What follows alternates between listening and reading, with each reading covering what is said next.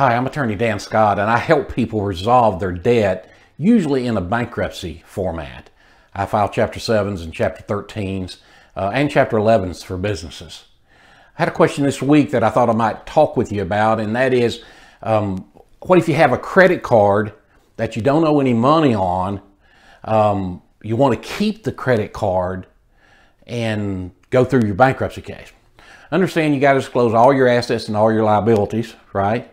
Um, you may not owe any money on that card. So, you know, uh, if you don't owe any money on it, then you don't have a debt to them.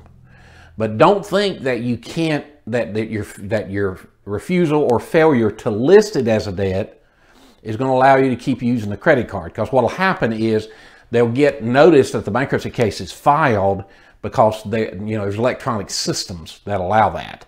Uh, it shows up on your credit report and your credit card company then may slice your card, right? In fact, it's very likely that they will slice your card, put a stop to it, and you won't be able to use it.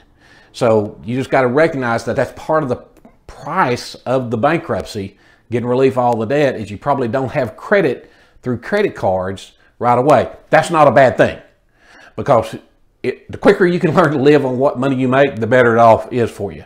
Now, the challenge, of course, is if you travel and you have to go to a hotel or you have to rent a car, you know, you kind of got to have a credit card to do that. But you can do it with a debit card. That is not a credit card, but a debit card. And your debit card attaches directly to your bank account, and you will be able to rent a car with a debit card. You'll be able to rent a hotel room with the debit card. But the one thing that you got to remember is that often the debit cards, they put a larger hold on your um, card, which is on your bank account, than for the room. You know, a, a $98 room, they might put a $150 hold, right? Uh, don't know why they do that, but they do. Just be just recognize that. That's what that means. When you do that, you got to have enough money in the account to, to handle it.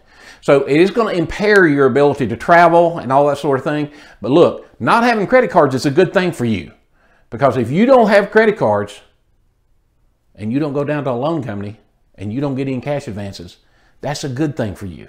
Because for most people, that's where they got jammed up, right? Because it's easy to get to credit, easy to get to credit cards, easy to do online cash advances, and then the next thing you know, it's eating you alive. So get you a fresh start with your bankruptcy and then live differently so that you can have peace again long term. I hope this was helpful to you. If you enjoyed it, uh, appreciate you subscribing if you're looking at YouTube or like it if you're on Facebook. If you've got a question, uh, put it in the comments below. I read those and maybe the next video I shoot will have your question in it.